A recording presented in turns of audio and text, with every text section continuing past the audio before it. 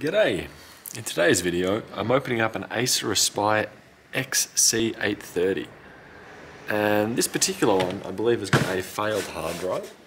But also as we can see from the specs 1TB hard drive, 128GB SSD, 4GB of DDR4 Pentium Silver J5005 it's a fairly low wattage. Look at the back here, the giveaway for what we can upgrade to is very limited being we run off a laptop charger one comment that I saw regarding this is it's a desktop or laptop hiding in a desktop skin, which is pretty much accurate. Considering, if you open it up, one screw out there, one screw out here. Once we open it up, we see not a lot inside the case. Open that up, look pretty vacant. We have one board here, with laptop RAM here and here. We have a PCIe 16 time slot, surprisingly. But the dilemma that we've got, if you want, were wanting to upgrade this for gaming, you will also need to buy a new power pack.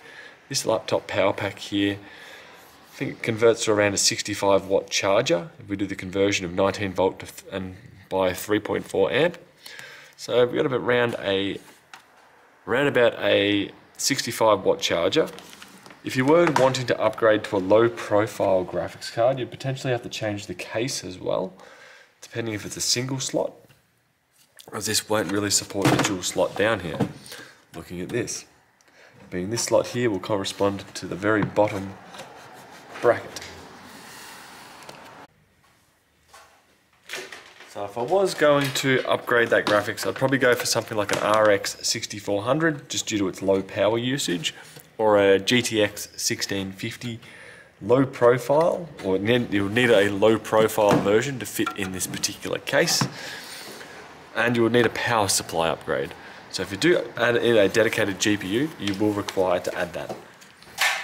What I'm wanting to do now as well is replace the NVMe SSD, which I believe may be a SATA one down the bottom here.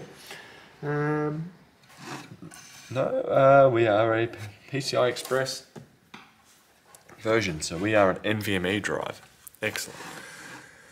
When you do replace one of these though, you will need to either clone it onto a new SSD or hard drive, or you'd be doing a complete reinstall of Windows. This one here I suspect has failed, so this is why I'm taking it out. We'll also hook it up to an enclosure to do it. Just using a small Phillips head screwdriver on this one. That is the screw here. That just lift it up and I should just be able to walk it backwards, like so. That's it removed. To install a new one, we want to line up the gap here with the gap here. And I can zoom you in a bit more so I can actually see what I'm doing. There we go, now that's what I'm talking about. And this will slot in on about a 45 degree angle. Push in, push down, make sure it's pushed all the way across. And then this ring semicircle down here should line up like so. When that's lined up, put the screw here and tighten. While we're looking at it, I might as well talk about upgrading the RAM. Let's say you wanted to add a bit more RAM to it. You should be able to push those two tabs here and here outwards, like so, and it should flick up like that. Then we can grab it on the top and pull it back, and we're now out. So this is 8 gig of DDR4. I'm not sure what speed as the sticker is stuck over the top of the RAM. But I'm assuming it's probably going to be something like 3200 megahertz or 2666. This will, ah, before I carry on there, do note the notch here, the notch there, put it in at a 45 degree angle, pull it a little bit closer so the gold has disappeared down here, then push down. That's installed. Once it's installed, you don't have to do anything, just physically replace it, put it in. The motherboard and Windows will do the rest for you. Same with over here.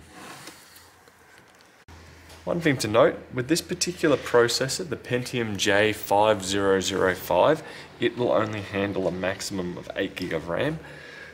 According to the Intel site, it doesn't look to support any more than that. So once, if you've already got 8 gig in there, it's probably very unlikely you could put two eight in each slot, one in each slot to make 16 and have it run correctly with that. It does seem to be only supporting up to 8 gig. Now if you want to replace your hard drive, we've got this one hard drive here. With that, we should be able to unscrew these four screws. We will have to take off the front plastic, which is here. There we go. You will all need to also eject the DVD drive to be able to take this out. Or pull it off the front here to be able to access the two Phillips heads or four Phillips head screws in the front. Bam, bam, bam.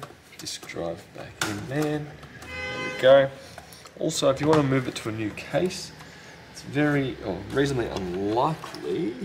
Uh, let me just quickly have a look.